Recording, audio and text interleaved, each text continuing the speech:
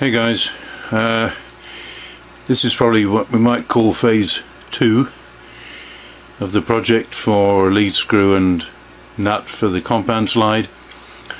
Just to refresh, here's the uh, lead screw nut. Lighting is not very good and you can notice that the top is the top is shaved off pretty dramatically for clearance. It almost gets onto the thread but fortunately it doesn't matter too much. So that's we've got to make a new one of those. And then the lead screw itself. Two fairly important uh, keyways for Woodruff keys. And that's fairly critical. Thread is 10 TPI square thread which I'll use again hoping I can find my cutters. I did make a pair for another lead screw job anyway let's get to the drawing.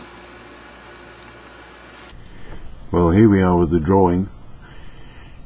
And the actual uh, dimensions are not too important to have to see although you might be able to use the pause and take a closer look if you want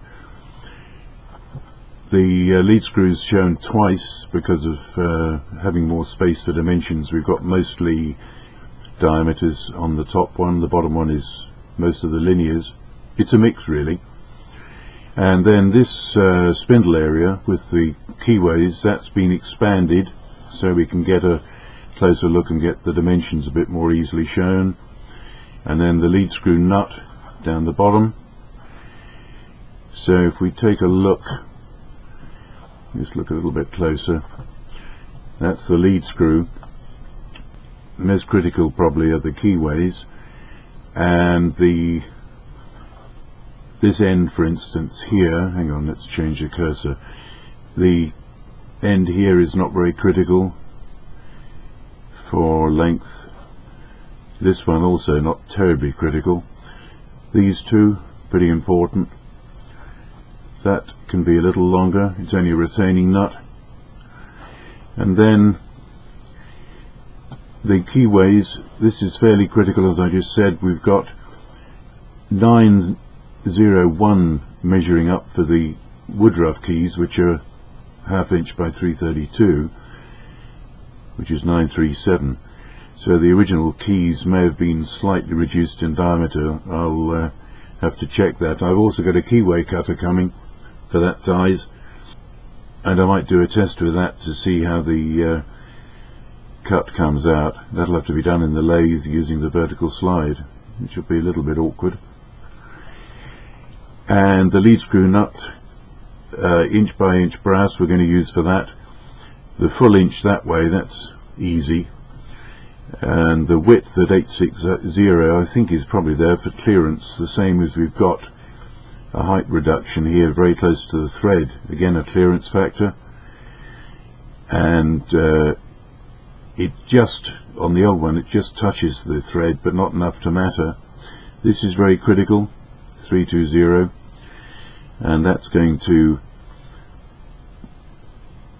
be carefully controlled so we keep uh, linear truth with the lead screw through the thread We'll probably do the nut first and uh, get it basically sized, turn down to get the spigot and thread the spigot and then cut the internal thread.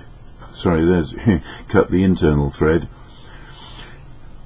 and get that as accurate as we can which means then that when we turn our attention to the lead screw we can cut the male thread to the point where we can do a test with that thread in the nut and get a very good fit. It's actually showing as 487 and uh, I would expect this was made from half inch or turned from half inch before threading. That's something I'll have to investigate and see what works out but the ideal is to match this thread to the lead screw nut and if necessary make small adjustments and probably finally a very fine lapping paste. The idea being to get a really good tight fit but free enough so it doesn't drag. And uh, that probably is about it. I think the sequence on this will be to do a basic external diameter turn down. We'll call it three quarter we'll turn down this section here to a nominal half inch for starting. Cut the thread check the thread and if we're good to go with the nut then that is uh, that then gives us the opportunity to progress further. I'd rather screw up the thread first before I cut this end. We'll have center drill both ends and obviously when we start this end will be in the chuck and that'll have a live center. If the thread succeeds alright we'll turn it round we'll put this in the chuck and then we'll turn down these diameters and lengths. And the final stage if we get complete there is to do the keyways.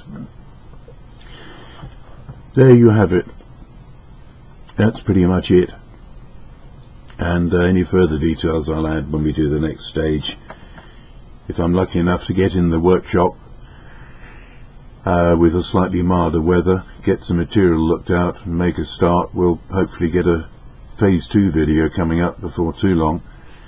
On the other hand as I always say particularly at this time of year don't hold your breath. But that's just a start so uh, you can refer to my introduction for just the uh, initial analysis and taking the parts out. And I think I said this is phase 2 so phase 3 will be the next to come anyway. Thanks for watching